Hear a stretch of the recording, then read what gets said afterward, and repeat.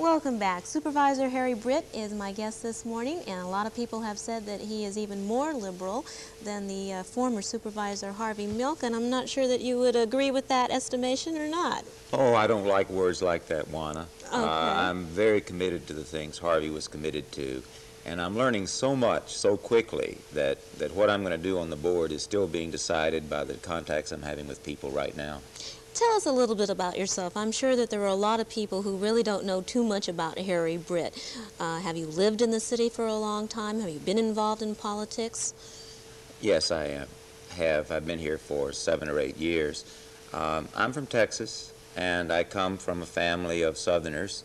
I was involved in the civil rights movement back in the 60s. I was a Methodist minister for a major part of my life. I'm finding now, by the way, that being on the board is a lot like being a minister in the sense that you spend your time listening to people and finding out what their problems are, and that politics really comes down to determining what people are interested in and helping them get those things. Now, you are a proponent of gay rights, and you yourself are gay, is that correct? Of course. Okay. Uh, I've been gay all my life, as Harvey was, and everything I do is a gay act, but I'm a supervisor for District 5, and very little of what we do on the board has a gay angle to it. Uh-huh. And all of my time goes into being a good supervisor for the people of the city and very little into gay issues. Did your gayness at all conflict with your being a Methodist minister?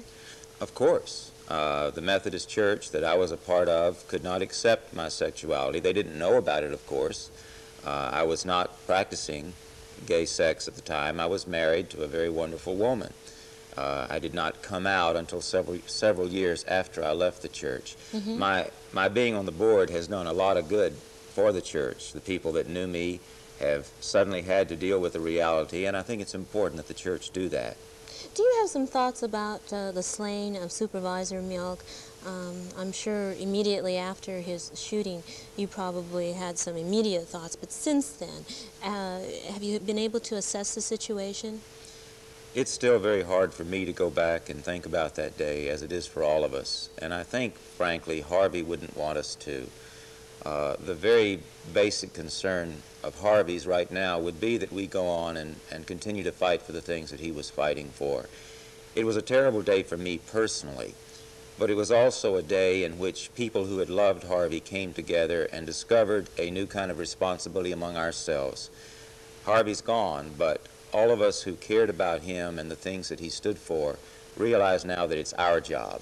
And that's exciting. We have a, a wonderful community of people, not just gay people, people all over the city who are committed to having decisions made by the people that are affected by those decisions. These people are coming together and doing some very exciting things, and, and I am honored. Uh, the trust that Harvey put in me was the greatest vote of confidence I've ever had in my life. Mhm. And the chance to be a part of his work is, is what gives my life meaning right now. You know, it was really interesting because uh, Harvey was on my show talking about Proposition Yes. 6, and um, at that time I asked him if he felt that there was a conservative backlash that was behind Proposition 6, and he really laughed that off. He said that that was a, a prepackaged political thing, that uh, conservatism was being thrown at, at the voters and at the public, and that there was no conservative backlash. How do you feel about that? I think we always have to be on the guard against bigotry, whether it's against gay people or black people or Jews or women or whoever. However, I agree with Harvey. History is on the side of, of people coming to be more open, more accepting of each other. And we shouldn't put all of our, our energy into fighting the bad guys. If we will get out there and, and live our lives the way they should be lived and establish communication between human beings, the, the bigots will not be able to do their work. Mhm. And that's what Harvey was doing, and that's what he would want all of us to be doing. How do you find politics on the board? I, a lot of people oh, have. uh, Juana, I love it. Uh, you learn a lot. I, I'm glad to be here and have a chance to, to tell the people some of the things I'm learning. Uh, one of the things you learn, if I can do this, is that you get out of government. Uh, you, you get attention from government when you when you get out there and politicize yourself and make known what you care about. A, a real good example.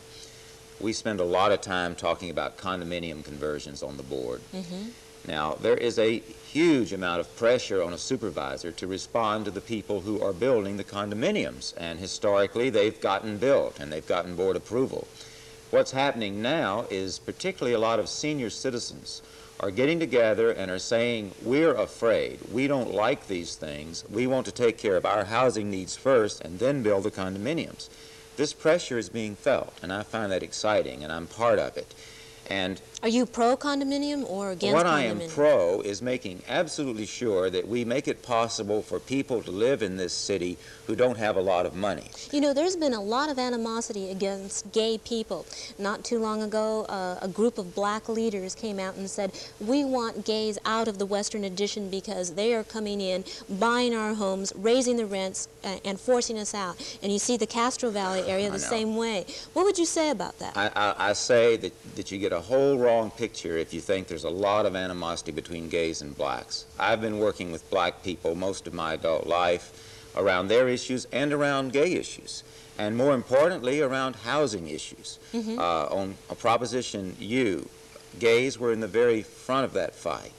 Uh, the gay people that I work with politically and that Harvey worked politically have been fighting for low-cost housing, have been fighting for improving the living conditions in the Western Addition and elsewhere. So you don't see speculation being led by a gay contingent? Of course not. Speculation is led, has historically been led by the big banks, the big real estate interests.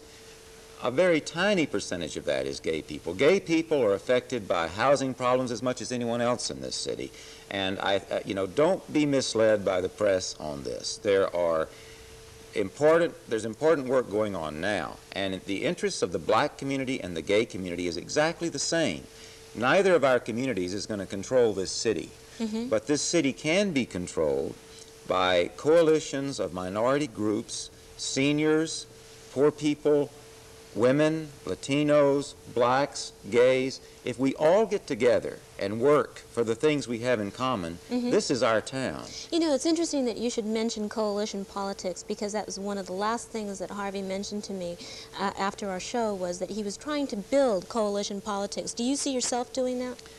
I was working with Harvey very closely on that. It's, it's probably the biggest commitment I have. San Francisco is either going to belong to the people who live here or it's going to be governed by somebody else. Now, those people who come into our city every day and work here and then go home are not bad people. We can't survive without a good business climate in this city.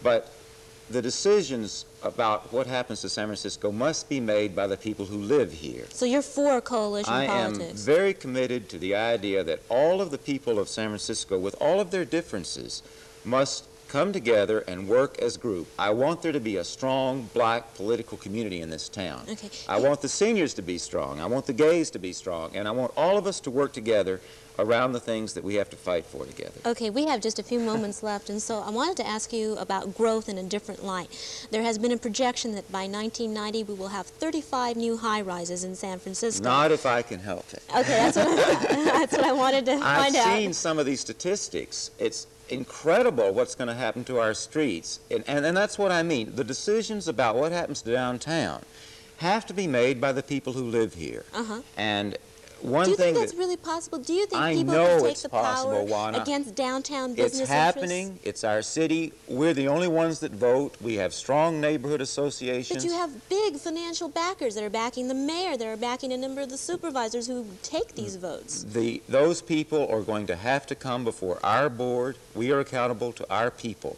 If we as a city simply say, these are the rules, those people are going to have to abide by them. And they're going to have to come up with proposals that take into consideration what we want. The most exciting thing about being on the board is that I do believe that this wonderful, wonderful city has a great future. If the people of San Francisco will say, it's our city, we make the rules, we create a good business climate, but you come to us before you create any of these more monstrosities of buildings that are, that are destroying life, the quality of life for all of us. Okay, you know, we're almost out of time, but if people want to come to you, are you available to them? My number is 558-2145. Uh, it's important that people call their supervisor Okay. and, and let us know what you want. If we're not responsive, kick us out. Okay, great. Keep that in mind. Kick him out if he doesn't do what you want. Thanks for being with us this morning, and do be back with us tomorrow because I'll have Don Haranzi on my show. It's a good man.